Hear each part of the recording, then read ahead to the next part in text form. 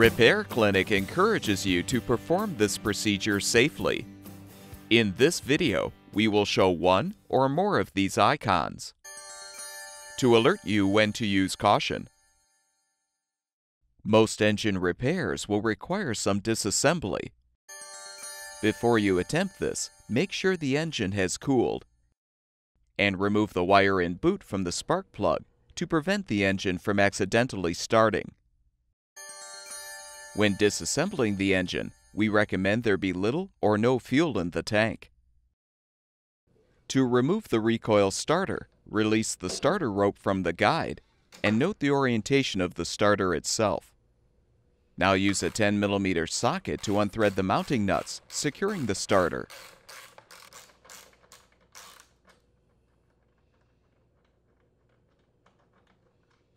With the starter removed, you can lift off the engine shroud and fuel tank as well. To uninstall the ignition coil, first detach the ignition coil wire. Now use the 10 mm socket to unthread the mounting bolt and an adjustable wrench to unthread the mounting post.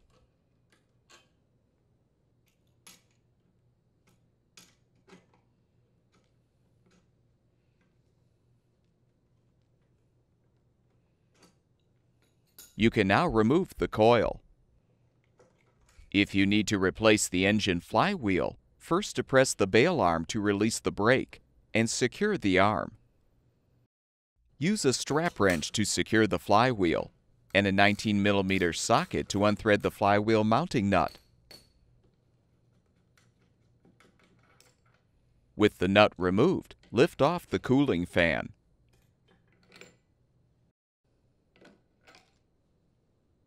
You can now use a flywheel puller to help detach the flywheel. The flywheel has markings to indicate where the puller arm should be positioned.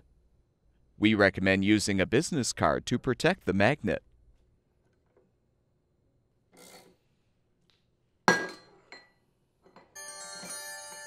Remove the old flywheel. Before you install a new flywheel, confirm that the key is intact in the crankshaft. Now align the new flywheel. Reposition the cooling fan and insert the washer. Thread the flywheel mounting nut and tighten. Use a torque wrench to torque the nut to 55 foot-pounds.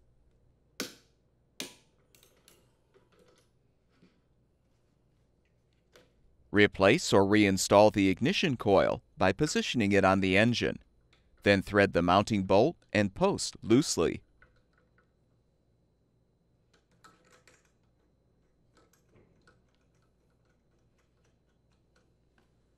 Pull the coil back and tighten the bolt and post.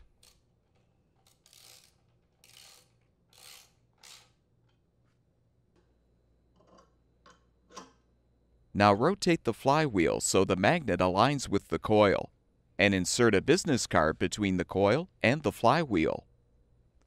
Loosen the bolt and post to align the coil the correct distance from the flywheel.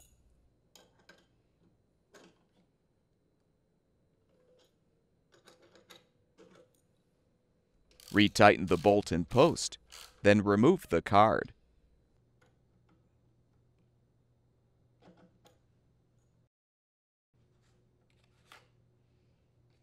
Connect the ignition coil wire.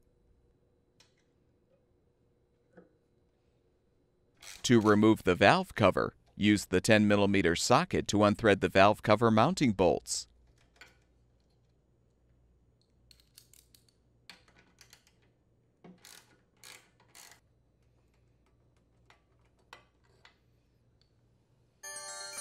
You can use a flathead screwdriver to help pry the cover off.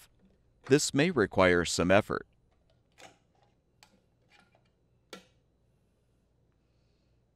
If you're going to install a new valve cover, first remove any sealant residue from the cylinder head. Make sure the cylinder head surface is dry as well.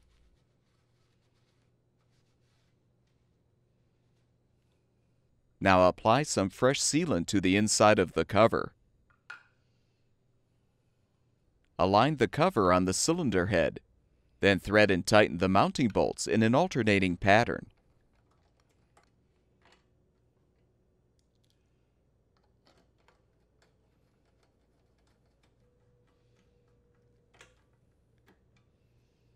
Torque the bolts to 7 foot-pounds.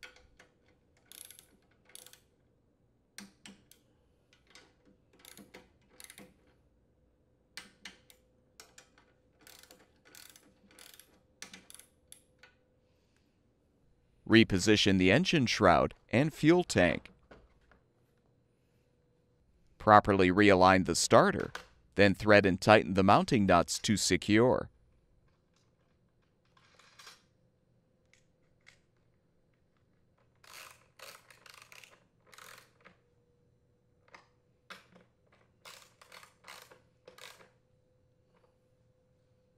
Extend the starter rope secure the rope in the guide, and release the bail arm.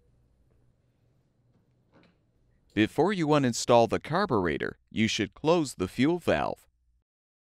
Now press the retaining tabs down to release the air housing cover and set the cover and air filter aside.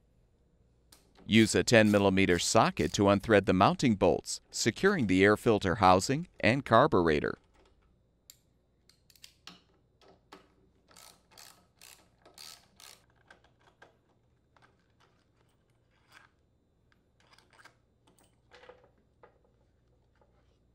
Detach the filter housing from the breather tube.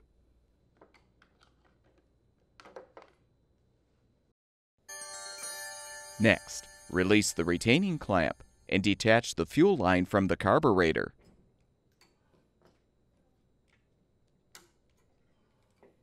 Disconnect the throttle return spring and the governor rod to release the carburetor. To disassemble the carburetor, use a 10 mm wrench to unthread the screw, securing the carburetor bowl.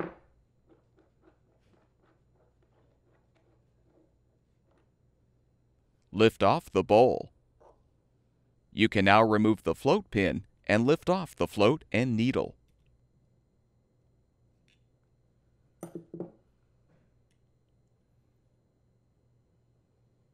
To access the main nozzle, Use a small flathead screwdriver to unthread the main jet. You can now slide out the main nozzle. Reinstall or replace the main nozzle by inserting it long end first into the carburetor tube. Rethread the main jet.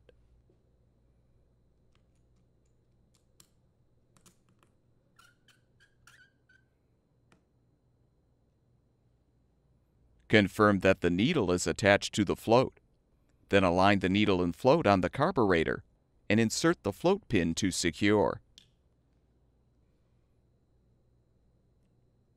Continue the carburetor reassembly by confirming that the bowl gasket is in place. Then replace the bowl. Thread and tighten the screw to secure.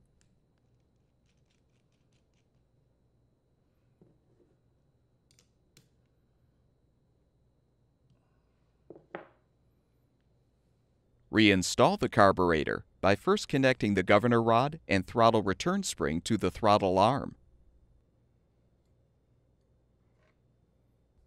Attach the fuel line and secure it with the clamp.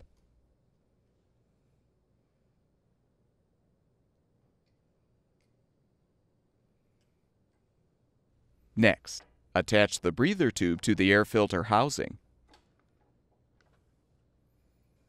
Insert the mounting bolts through the housing. Slide on the air cleaner gasket, followed by the carburetor.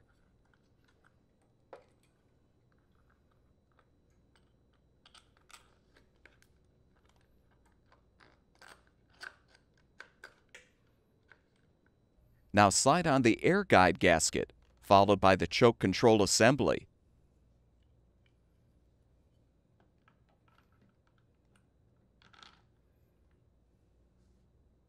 slide on the intake gasket.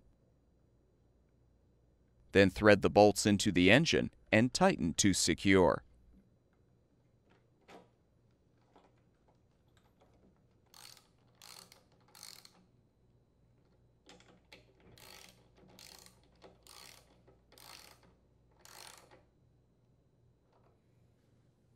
Replace the air filter in the housing, then align the lower cover tabs with the housing and snap the upper tabs into place.